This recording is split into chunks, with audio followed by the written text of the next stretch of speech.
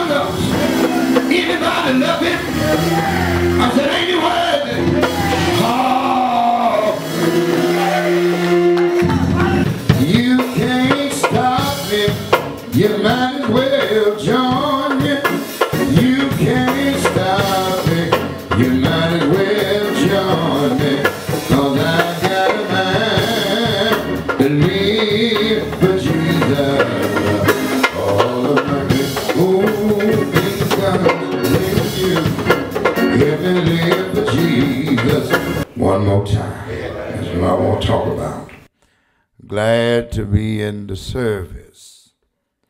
One more time.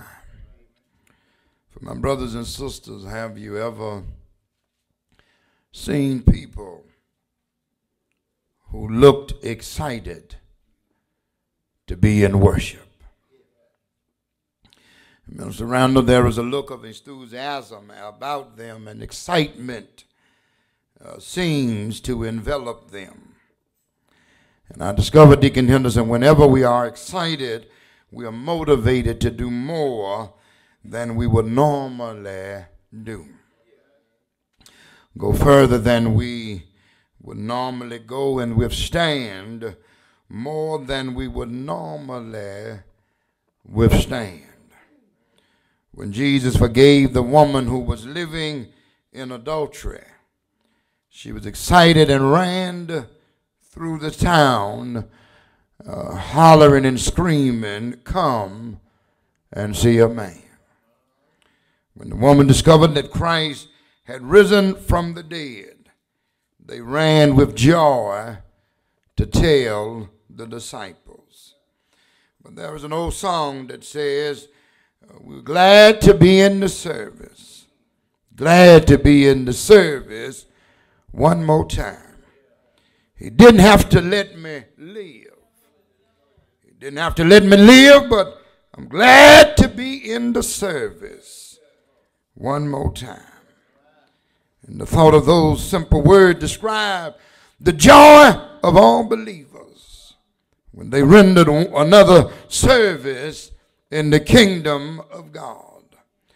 Anticipation contributes to our gladness as well, brothers and sisters. Uh, consider the man who was rolled in the church in a wheelchair, Sanita, for an entire year because he didn't have the strength to walk. And they called him, they, they called him clapping Charlie. All week long, clapping Charlie barely had enough strength to rise, to raise his hand, but he insisted on worshiping every Sunday. The moment they rolled him in the door, Sister Henderson clapping Charlie started clapping his hands. He clapped when the choir sang. He clapped after the announcements were read. He clapped during the altar call and he clapped even during the sermon. But after a while, somebody asked him, Deacon Hill, Charlie, why, why do you clap so much when you are sick? And Charlie looked at the man and said, I'm celebrating. The man, the man was puzzled. Celebrating what, Charlie? You're in a wheelchair. We're praying for your healing, but it hadn't come yet. But what, what, what are you celebrating?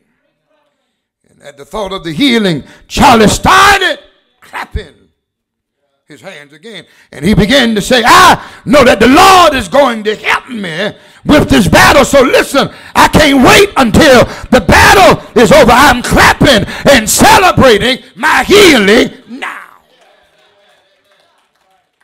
When, God has done something for us, we are excited and certainly we are glad. When God is doing something in our life, we, we, we don't have to go around and tell anybody. They can see the expression and gladness on our faces.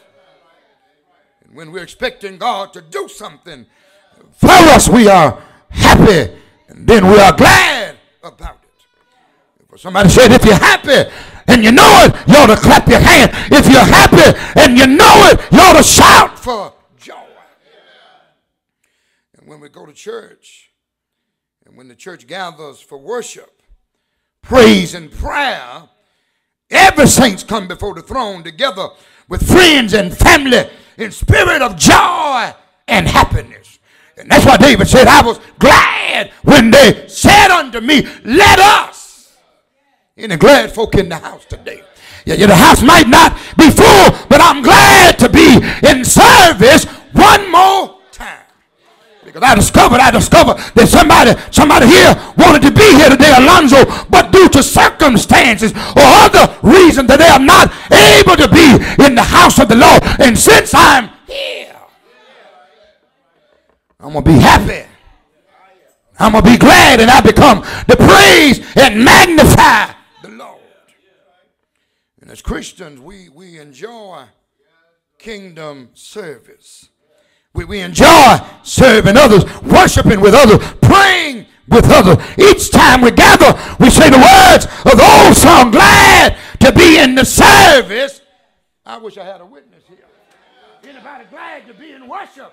Yeah, yeah, yeah. Anybody glad to be in the service? Just one more. I just said to the other, he didn't have to do it. But certainly, I'm glad that the Lord did. And so listen, this text focus on Luke as he described the gladness and singleness of the heart of the early church fellowship. But Luke notes that the early believers was enthusiastic about worship. It was not considered a chore, a burden, or an obligation. But, but, but, it was, it, yeah, yeah, they, they, they came together as one body with gladness and the singleness of heart. In doing so, they prayed for the sick and, and, and constantly praised God. And the power of their praise, according to verse 37, uh, attracted others to fellowship, and many were added to the church. And that's the problem in many of our churches. I tell preachers all across this country, you, it's not your church. So don't worry about if folk don't come because the Bible said that the Lord add to the church.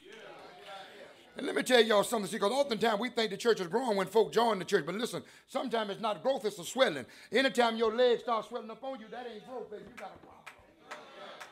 And many of our churches ain't growing, they just swelling with all kind of people.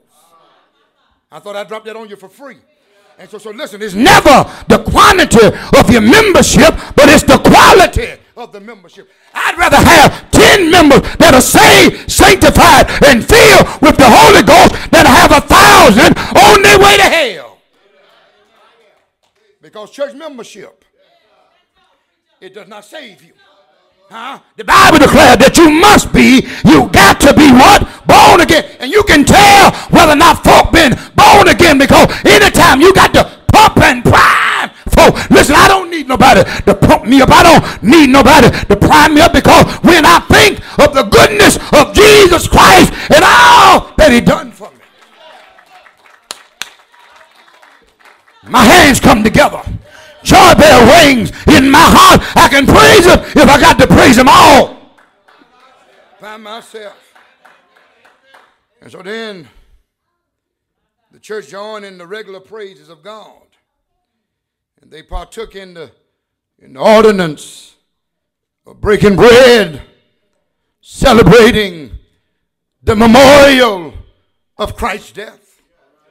And that's why he says, as often as you eat of this cup and drink of this cup, eat of this bread and drink of this cup, you show forth the Lord's death until he come. But but but but now we're making things convenient for folk.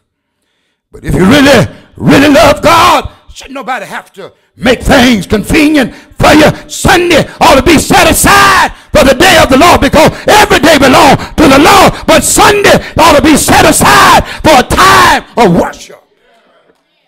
But on Sunday now we do what we want to do. That's why they got 8 o'clock service. We make it convenient. Only thing we're trying to do is get a crowd in Sister Hill, get the money from the folk before the stove get it. Huh? But listen, we have 8 o'clock service, early morning worship. Because guess what? That's where the bulk of the folk come in. And now they got free for the rest of the day. Huh? But in my boyhood, Huh? Listen, it, wasn't, it wasn't no such thing talking about going to no park, playing no game, doing this, doing. No, Sunday was set aside for the Lord. You're going to get your behind up early on Sunday morning. And you're going to tell God thank you at home. And then you were going to Sunday school. And when you get out of Sunday school, you go right into morning worship. You leave morning worship, go home and get you some supper. Bring you behind right back at 3 o'clock for church training union, BTU. And then you go out of BTU right into evening worship. And then when you got out of evening worship, you might have 30 minutes to watch television because then you're going to be getting your school clothes and things ready for the next day. Time to go to bed. But now we live in a new era and a new day. And as they would old folk would say, some of these young folk, they say a little dab will do. Huh? Catch 8 o'clock worship, that's enough. I'm done with church for the day. Huh?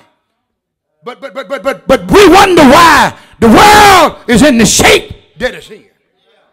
And I still hear Jesus saying, if my peoples, which are called by my, it, it ain't gonna be no healing until you turn from your wicked and your evil way. Our children, they're out of control. You can't do nothing with them. Listen, mama didn't send us to church. They brought us to church. But nowadays we go to church and leave our children home. We ask them, you feel like going to church today? Huh? Mama says it begins at home. And it what? Spreads abroad. Y'all talking about praying at school? How you gonna pray at school and you don't even pray at home? Huh? We talk about they took prayer out of school.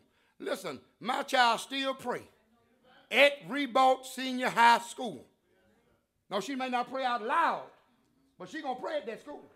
She gonna pray before she take them tests. She's gonna pray before she even play a ball game. Because listen, it has been instilled in her. But many of us, we're not teaching our children. We don't listen. They sit at the, well, they don't even sit at the supper table no more. Dad eat in one room in the den, the mom in the kitchen, the children outside. Everybody just no family prayer, no no nothing. And then we wonder why these young people are in the shape and the condition it's not their fault. Because listen, the Bible says, train up a child in the way that the child ought to go. Now, listen, the Bible never did say that the child would not go astray, it said that the child would never depart. Huh? But listen, listen, there is something on the inside that will remind you of your upbringing. But if you ain't been taught nothing, See, listen, it's just like it's just like praying. Amen. Lord, bring all things to my remembrance. How you gonna bring something to your remembrance you ain't studied nothing to put it in? All right, uh, yeah. Huh? You got to put something in. Uh-huh. You got to study. Yeah. You got to prepare yourself. And once you study and prepare, then you can say, Lord, bring all things back to my remembrance. Uh-huh. Anybody know he'll do it? He'll bring it right back to you. But you got to store up something. And then listen. But when there is true fellowship. Fellowship is two fellows in the same ship. It brings on a spirit of gladness, is the result. And to be glad is to have a feeling of joy and exhilaration that bubbles and illuminates. Gladness is hard to conceal. It is obvious and visible. It emanates from a feeling of security and warmth that is generated from a loving relationship. You, you, you ever seen phony people? You ever seen phony people? I mean, now listen, they, they, they, you know, they, they smiling, but they are phony. They are fake. They're like a plastic credit card.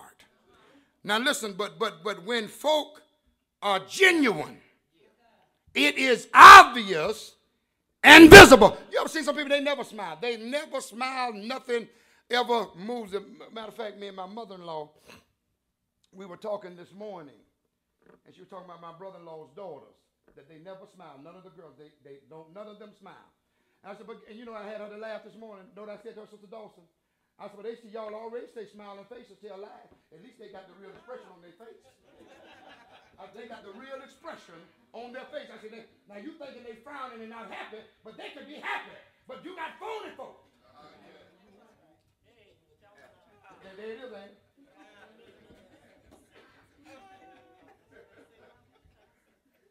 But they phony. So, so listen, smiling faces tell lies sometimes. And so, but listen, listen, but but but but but gladness. Gladness is hard to conceal. Gladness is a cousin to joy, which comes from the inside. Jesus on the inside love the Jesus on the outside. It's so easy to love. And so listen, when you describe in Galatians chapter 5 a, a fruit of the Spirit, joy is not conditional and is an endearing part of Christian life experience. A Christian is joyful regardless of his circumstance or his condition. I, I, I kid you not. It ain't no joke. My leg is hurting me. But in spite of it all, I still got joy. And the reason I got joy from here because, listen, I discovered that somebody don't have a leg and they ain't got joy. And so listen, listen, listen. Let me say it again.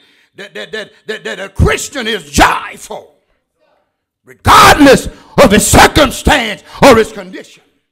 And you see, a lot of folks got joy when they got money. Um, but listen, you can have joy and be broke, busted, and disgusted. Because let me tell you something, when you learn and really understand life, life is not the abundance of things. That's it. Life is not about having things. Listen, I can have joy and don't have a dime in my and so every time I turn around, the Lord, He blessing me on the right, bless me on the left, bless me in the front, bless me in the back, bless me on the top and on the bottom. And so, brothers and sisters, I'm blessed whether I have health or strength. I'm, I'm, I'm, I'm blessed when I don't have a dime in my pocket. Do I have a witness here? But, but whether, whether the blessings we receive involve finance, health, peace of mind, or happy homes, we celebrate blessings, then we desire that there is gladness. But that's why, that's why, Deacon Henderson, we're glad to be in the service. Because the Lord has blessed us. But every day that we get from the Lord is a blessing. Every day you open your eyes, we are glad that we have one more day. And I discovered no matter if it's raining or the sun is shining. In other words, I'm still glad because Psalms 118 and 24 it says, This is the day which the Lord has made. And I want to know is there anybody will rejoice and be glad? But I stop by today to tell you that uh, no matter what the day brings, it is a day that was created by an all powerful God.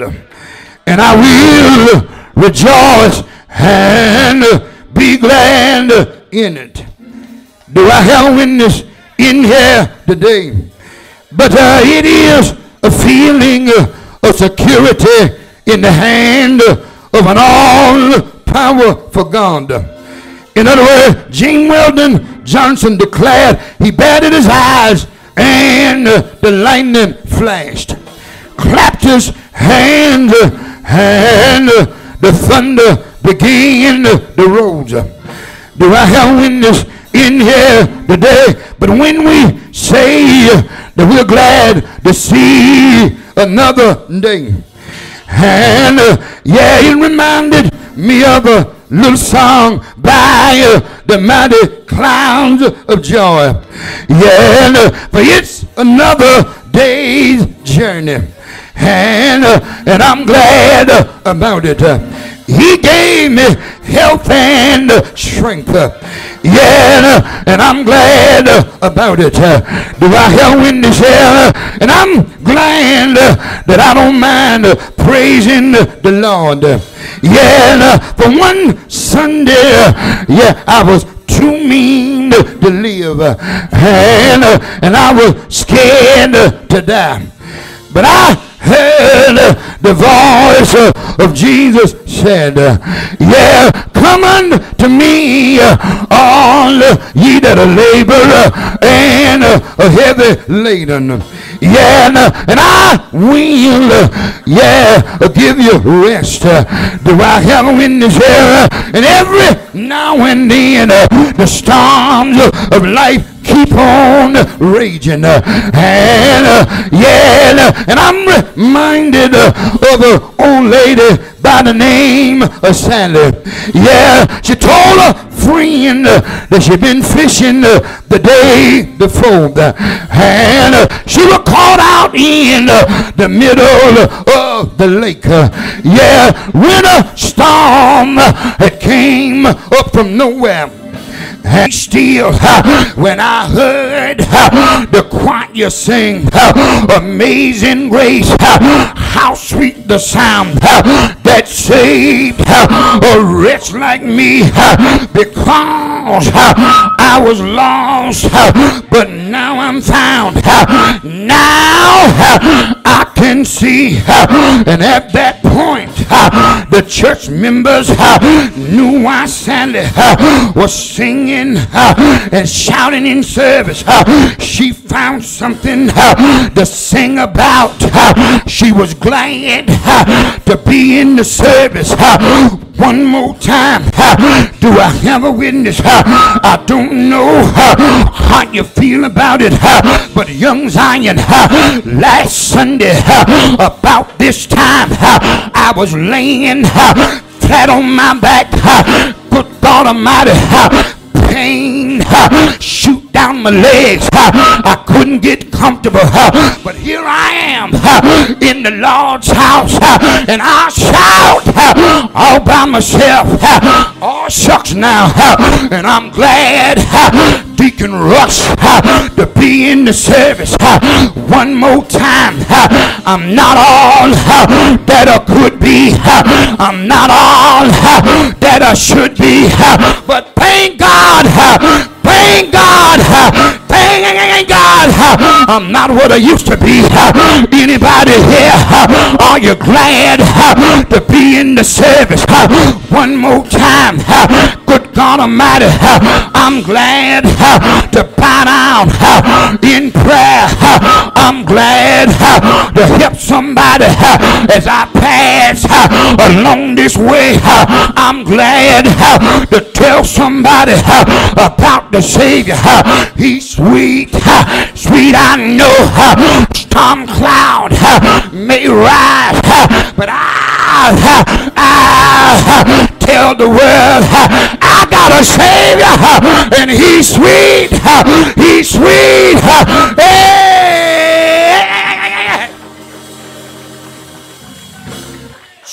I know, and I want to know, is there anybody up in here? Do you know him?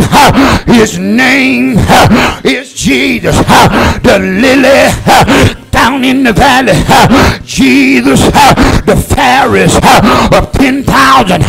Jesus, the bright and the morning star. Jesus, my rock in a weary land. Bridge over troubled water. Jesus, he'll be a lawyer in a courtroom. He'll be a doctor in a sick room. Anybody here? Do you know him? And I'm glad, good God Almighty, one Friday, Jesus, the lily down in the valley, Jesus, the first and the last, picked up uh, an old uh, rugged cross, uh, and I'm glad, good God Almighty, he died. Anybody here know he died? Died on Friday, but early, I said early, early Sunday morning, he got up. Anybody here? Are you glad he got up with all power? All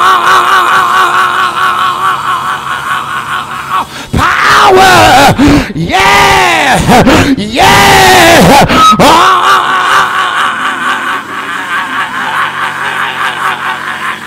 Yeah.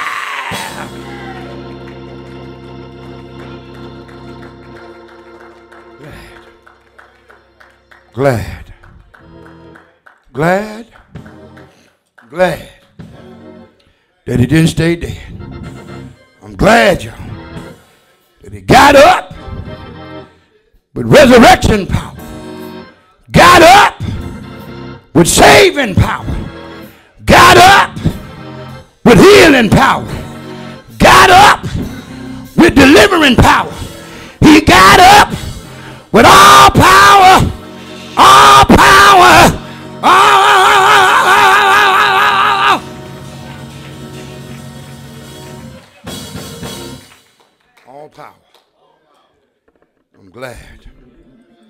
I said, I'm glad to be in the service.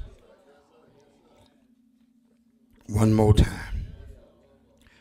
The doors of the church are open.